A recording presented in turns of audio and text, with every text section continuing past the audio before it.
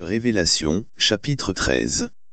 Et je me tins debout sur le sable de la mer, et vis une bête s'élever de la mer, ayant sept têtes et dix cornes, et sur ses cornes dix couronnes, et sur ses têtes le nom de blasphème. Et la bête que je vis était semblable à un léopard, et ses pieds étaient comme les pieds d'un ours, et sa gueule comme la gueule d'un lion, et le dragon lui donna son pouvoir, et son siège, et une grande autorité et je vis l'une de ses têtes comme si elle était blessée à mort, et sa blessure mortelle fut guérie, et tout le monde s'interrogea sur la bête.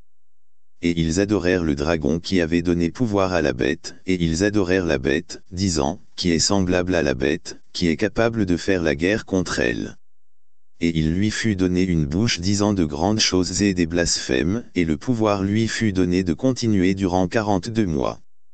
et elle ouvrit sa bouche en blasphémant contre Dieu, pour blasphémer son nom, et son tabernacle, et ceux qui demeurent dans le ciel. Et il lui fut donné de faire la guerre aux saints, et de les vaincre, et le pouvoir lui fut donné sur toute parenté, et langue, et nation. Et tous ceux qui demeurent sur la terre l'adoreront, ceux dont les noms ne sont pas écrits dans le livre de vie de l'agneau tué depuis la fondation du monde. Si quelqu'un a une oreille, qu'il entende. Celui qui mène en captivité ira en captivité, celui qui tue par l'épée doit être tué par l'épée. Voici la patience et la foi des saints. Et je regardai une autre bête sortant de la terre, et elle avait deux cornes comme celles d'un agneau, et elle parlait comme un dragon.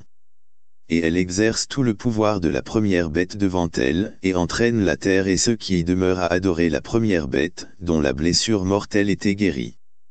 et elle fait de grands prodiges, de sorte qu'elle fait descendre le feu du ciel sur la terre à la vue des hommes, et elle trompe ceux qui demeurent sur la terre au moyen de ces miracles qu'elle avait le pouvoir de faire à la vue de la bête, disant à ceux qui demeuraient sur la terre, qu'ils doivent faire une image à la bête, laquelle avait la blessure de l'épée, et survécut. Et elle eut pouvoir de donner vie à l'image de la bête, pour que l'image de la bête puisse simultanément parler, et faire que tous ceux qui n'adoreraient pas l'image de la bête soient tués et elle fait que tous, aussi bien petits que grands, riches et pauvres, libres et asservis, reçoivent une marque dans leur main droite, ou dans leur front, et qu'aucun homme ne puisse acheter ou vendre, sauf celui qui avait la marque ou le nom de la bête, ou le nombre de son nom.